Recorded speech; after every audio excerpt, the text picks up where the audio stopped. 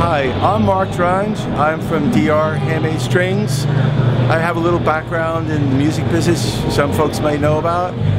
Uh, my dad started Guild Guitars, and my dad and I always spoke about starting a string company. Some of the ideas he had, we've incorporated. One, of course, is handmade, highest quality, and lots of innovation. Our newest innovation is our dragon skin coated strings. It's a proprietary coating that we developed, and the difference between ours and everyone else's, as far as we know, is we're the only people who have a coating that adds to the sound.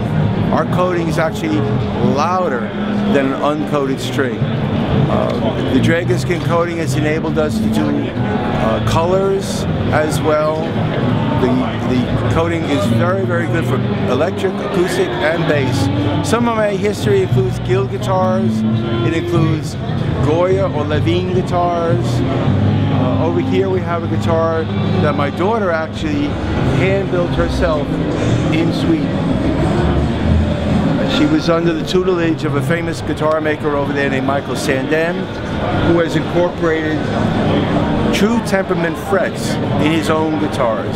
Michael is the exclusive manufacturer of acoustics who has a license to do these frets.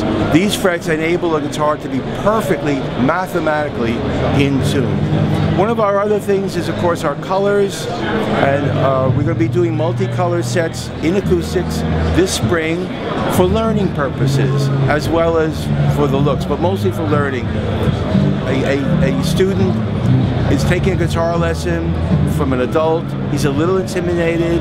The adult says, play the third string on the fourth fret, the kid's lost. Play the red string on the fourth fret, he's right there. And that's part of our, our innovation, that's part of our normal production, and that's part of our all-American history.